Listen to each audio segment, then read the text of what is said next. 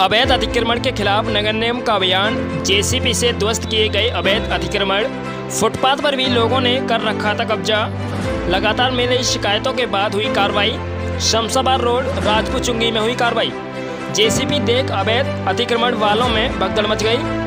नगर निगम अधिकारियों ने बताया कि कई बार इन लोगों को सूचित किया गया है, लेकिन उसके बावजूद भी इन्होंने अतिक्रमण को नहीं हटाया। उसके बाद अभियान चलाकर कार्रवाई की गई। देखिए एक रिपोर्ट इस तरह का अभियान चला ये अवैध अतिक्रमण के लिए अभियान चला गया नगर निगम के द्वारा। जगह जगह बार बार शिकायत आ रही थी। यहाँ पे यातायात बाधित हो रहा था। आम जनमानस को समस्या उत्पन्न हो रही थी। इन लोगों ने फुटपाथ पे लगा रखा। दीपावली का एक पावन पर्व है और इस पे भीड़ भाड़ ज़्यादा रहती है और इसके लिए हटाने के लिए। इससे पहले भी सूचित किया गया लेकिन इन लोगों ने हटाया नहीं।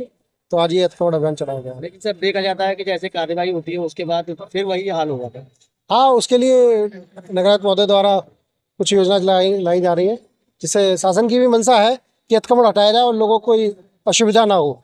इन इन सब लोगों की असुविधा के लिए हम कुछ ना कुछ विचार करेंगे और इन्हें एक पर्टिकुलर स्थान दिया जाएगा जहाँ पे ये अपना कारोबार करें सर इनको क्या सूचित किया गया था सर? हाँ इन्हें पहले चार पाँच बार हम लोग मैं स्वयं सूचित करने आया लेकिन इनके दो इनके द्वारा कोई कार्रवाई नहीं की। सर, चालान शुल्क काटे गए हों या वार्निंग दी गई हाँ? आज दस हज़ार रुपये का भी चालान शुल्क काटा गया। अब जो इन्होंने मलबा और अतिक्रमण रखा था, उसके बेस इन लोगों को इनका चालान नहीं किया गया, इन्हें हटाने के लिए बोला गया। कि कृपया आप हटा लें। इनके द्वारा अतिक्रमण कर लिया था, जिससे यहाँ की साफ़ सफ़ाई में भी दिक्कत होती है। देख रहे हो, पीछे एक नाला है। जब इनकी दुकान लगी रहती है तो यहाँ कार्रवाई नहीं हो पाती है। तो उससे भी एक नगर निगम की और शहर की छवि धूमिल होती है। और नगर निगम का काम है कि शहर को स्वच्छ बनाना अपना शहर है अपना घर है अपना मकान है तो सारी सीज़न है ऐसे में क्या आगे भी इस तरह की कार्रवाई जारी रहेगी? नहीं नहीं नहीं आगे कार्रवाई करने का कोई औचित नहीं है लेकिन अगर गल, कोई गलती करेगा तो हम कार्रवाई करेंगे।